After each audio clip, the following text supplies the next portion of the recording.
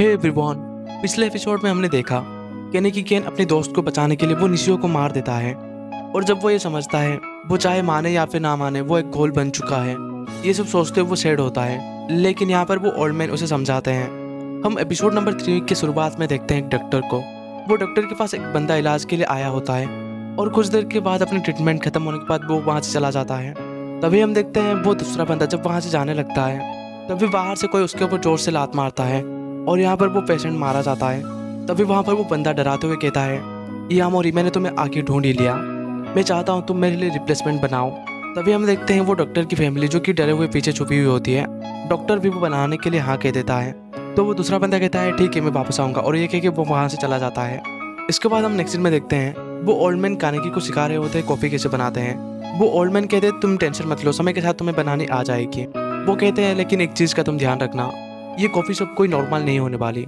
यहाँ पर twenty ward के जितने भी घोल होते हैं, यहाँ पर आके एंजॉय करते हैं। वो लोग एक दूसरे के साथ भी मिलते हैं। और इसके साथ साथ ये रेस्टोरेंट में इंसानों को भी हम कॉफ़ी ऑफ़र करते हैं।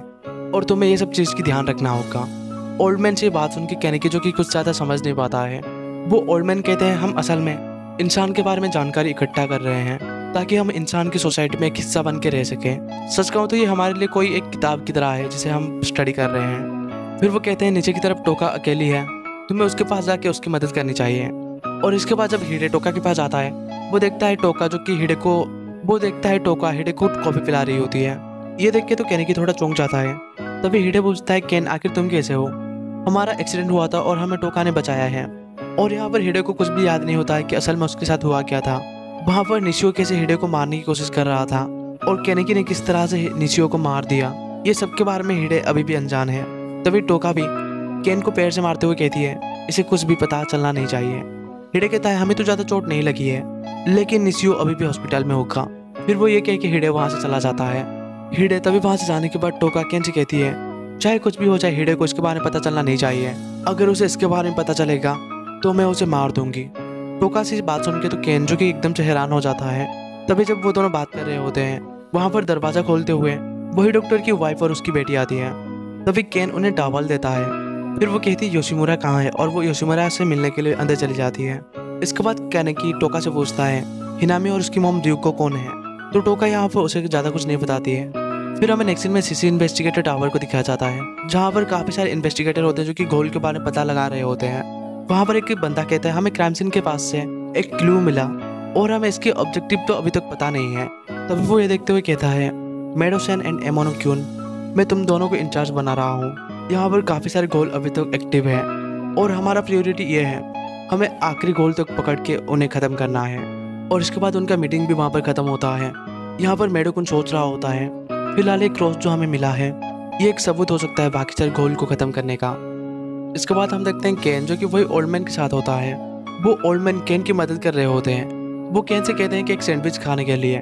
और जब कैन एटलास ट्राई करता है, वो सैंडविच को खाने की तो उसे बिल्कुल ही वो खाना अजीब लगता है और वो फिर से उल्टी करने लगता है। तभी वो ओल्डमैन कैनिकी को सिखाते हैं कि कैसे खाना है। वो पहले तो वही सैंडविच को खा लेते हैं। वो कहते हैं, तुम्हें खाना को चबाना नहीं है, बस इसे निकल देना है और इसे ऐसे दिखाना है कि जैसे कि तुम चबा रहे हो और लोगों को ये यकीन दिलाना है कि तुम भी उनमें से एक हो। और वो कहते हैं कि, तुम्हें डरने की ज़रूरत नहीं है, प्रैक्टिस से तुम ये कर पाओगे। तभी वो कैन को शुगर क्यूब देते हैं। वो कहते हैं, कॉफ़ी से बना है, ये कुछ हद तक तुम्हारी बुक को कंट्रोल करने में मदद करेगा। फिर कैन पूछता है, ये आखिर बना किससे है? तो वो ओल्ड मैन कहते हैं, तुम अगर ना जानो तो ये तुम्हारे लिए सही रहेगा। वो तभी कहते हैं, जैसे कि टोका की मदद से फ़ूड के लिए बाहर जाते थे, लेकिन वो अभी एक इम्पोर्टेंट एग्ज़ाम के लिए प्रिपेयर कर रही है। वो आज इसी के लिए काफ़ी बिज़ी है। क्या तुम फ़ूड के लिए उसी की जगह में तुम चले जाओगे? और ये बात सुन के केंद्र की काफ़ी डर जाता है। वो कहता है कि क्या मैं जाके इंसान को मारूँगा?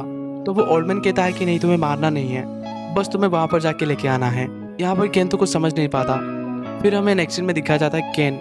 एक बंदे के साथ एक लोकेशन पर गाड़ी में जाता है। इसके बाद केन वहाँ पर पहुँचने के बाद एक खाई में गिरने लगता है, लेकिन वो गोल होने की वजह से वहाँ पर बच जाता है। तभी वो अचानक देखता है अपने आगे एक डेड बॉडी और इस बात से तो वो एकदम जो हैरान ही हो जाता है। वहाँ पर वो दूसरा गोल कहता है, ये एक सुसाइड स्पॉट है और हम यहाँ पर आके उनकी बॉडी को ले जाते हैं। वो कहते हैं कि तुम इसे जाके पहले पैक करो, लेकिन फिर भी केन यहाँ पर डट गया होता है। इसके बाद वो दूसरा गोल जाके प्रे करके वहाँ पर मरा हुआ डेड बॉडी को पैक करता है। फिर हम नेक्स्ट में देखते हैं कि मेडो एंड एमोन को। वो भी एक घोल को मार के पूछ रहे होते हैं कि तुम आखिर इसके बारे में क्या जानते हो? इसके बाद अगले दिन हम देखते हैं योशिमुरा केन के लिए एक मास्क बनाने के लिए टोका से कहते हैं। तो टोका यहाँ पर गुस्सा होते हुए कहती है कल तो मेरी छुट्टी है। मैं सोच रही थी कि मैं वो दिन एंजॉय करूँगी, लेकिन मुझे इस बेवकूफ़ के साथ दिन बिताना पड़ेगा। तो वह आदमी कहते हैं, ये इमरजेंसी है। तो इन्वेस्टिगेटर अभी सर्च कर रहे हैं। कल उन्होंने एक घोल को मार भी डाला। और ये बात समझते हुए टोका भी कहते ठीक है, मैं कल उसे लेके जाऊँगी। इसके बाद फिर हमें नेक्स्ट डे का सीन दिखाया जाता है। टोका केन को उसी जगह पर लेके जाती है, जहाँ पर मास्क केन के लिए बनाया जाएगा। केन उसी जगह पर पहले तो डर जाता है। यहाँ पर वो बंदा यूटा भी शायद एक घोल होता है। उसकी आँखें भी एक घोल की तरह ही रेड थी। इसके बाद यूटा केन को डिज़ाइन के बारे में बताने लगता है कि आखिर किस तरह की मास्क बनानी होगी। वो तभी केन का मेज़रमेंट लेते हुए पूछता है, तुम्हें टोका कैसे लगती है? तो केन बताता है कि टोका क्यूट तो है, लेकिन इसके साथ साथ वो डरावनी भी है। तभी केन से ये बात सुन के यूटे कहता है कि तुमने उसे गलत समझ लिया। टोका इंसान की सोसाइटी की पार्ट बनने के लिए काफ़ी ज़्यादा मेहनत कर रही है। वो स्कूल भी जाती है और वो रेस्टोरेंट में सर्व भी करती है। केन, ये सारी बातें सुनकर वो कहता है, मैं अभी भी ये समझ नहीं पा रहा हूँ कि वो आखिर इतना मेहनत कर क्यों रही है? तो यूटा कहता है कि, तुम्हें शायद अभी पता नहीं चलेगा, लेकिन समय के साथ साथ तुम ये समझ जाओगे। इसके बाद हम देखते हैं कि टोका एंड केन जो कि वापस आ रहे होते हैं, यहाँ पर केन टोका से पूछता है, वो लड़की हिनामी आखिर कौन है? आखिर उसे हुआ क्या है? वो अजीब सी क्यों है? वो पूछता है कि वो अपने डार्ट को छोड़ के आई है, क्या वो अभी कोई परेशानी में है? तो टोका कहते हैं कि ऐसी बात नहीं है। फिर कहने की टोका से पूछता है, मैं अभी भी समझ नहीं पा रहा हूँ, आखिर ये मास्क बनाने का वजह क्या है? तो टोका कहने लगते है, क्या तुम्हें इसके बारे में पता भी नहीं था? फिर भी तुम्हें मास्क बनाने के लिए आ गए? वो कहते हैं, क्या तुम्हें इसके बारे में पता नहीं है? इन्वेस्टिगेटर आखिर किस तरह से घोल को ढूंढ रहे हैं? अगर किसी भी इन्वेस्टिगेटर को तुम्हारी शक्ल के बारे में एक भी बार पता चल जाएगा तो वो तुम्हारा पीछा करते हुए यहाँ तक पहुँच जाएँगे और उन्हें घोल के बारे में हर एक बात पता चल जाएगा और उन्हें तुम्हारी शक्ल के बारे में पता ना चल सके। इसीलिए तुम्हारे मास्क बनाने के लिए हम यहाँ आए थे, ताकि कोई भी परेशानी ना हो, और हम ज़िंदा रह सकें। फिर हम नेक्स्ट में देखते हैं कि वो दो इन्वेस्टिगेटर जो कि घोल को पकड़ के रखे होते हैं, वो यहाँ पर भाई हथियार को दिखाते हुए कहते हैं, ये बताओ कि आखिर है क्या चीज़? लेकिन उन दो घोल को पता नहीं होता है तो वो दो इन्वेस्टिगेटर उन दो घोल को मारने लगते हैं। जब वो दोनों वापस वहाँ से चले जाते हैं तो हम देखते हैं कि उनमें से एक गोल वहाँ पर बचा हुआ होता है। यहाँ पर हम देखते हैं कैन, जब दरवाज़ा ओपन करके हिनामी के पास जाने की कोशिश करता है, वो वहाँ पर देखता है हिनामी खाना खा रही थी। और ये फ़ूड जो कि फ्लैश की कोई पार्ट होता है। केन ये देख के तो एकदम से डर जाता है और वो वहाँ से वापस चला आता है। तभी केन बाहर एक बंदे के पास आता है तो वो दूसरा बंदा कहता है, घोल और स्पेशल तो ये लड़कियाँ, ये किस्से को तो प्राइवेट रखते हैं और अब ये सही बात नहीं है। तुमने उसे थोड़ा अजीब सा महसूस करवा दिया। वो कहता है, ये लो कॉफ़ी का कॉफ और उसे जाके माफ़ी मांग लेना। फिर वो वही कॉफ़ी लेके वही लड़की के पास चला जाता है। तभी वहाँ पर हिनामी कैन से पूछते तुम अजीब हो, तुम तो इंसान नहीं लग रहे हो। तो कैन कहता है कि, असल में मेरे साथ काफ़ी कुछ हुआ। और अब मैं ये दोनों ही हूँ। सच कहूँ तो मेरा शरीर ये जो कि एक गोल का है और मेरा दिमाग इंसान की तरह। और इसी की वजह से मैं तुम्हें देख के थोड़ा डर गया था। फिर वो हिनामी से वहाँ पर माफ़ी माँगता है। तभी कैन वहाँ से जाने वाला होता है। वो हिनामी के हाथ में देखता है वही बुक। ये वही नोबलिस्ट का बुक होता है, जिसके सारे बुक कैन भी पढ़ता है। वो कहता है, ये नोबलिस्ट काफ़ी ज़्यादा मुश्किल वर्ड यूज़ करते हैं। तो तुम्हें ये समझने में थोड़ी मुश्किल होती होगी। तो कैन कहता है, क्यों ना मैं तुम्हें डेली मदद करूँ? और मैं तुम्हें हर एक दिन नए नए शब्द सिखा सकता हूँ। फिर कैन हिनामी को कुछ शब्द सिखाने लगता है।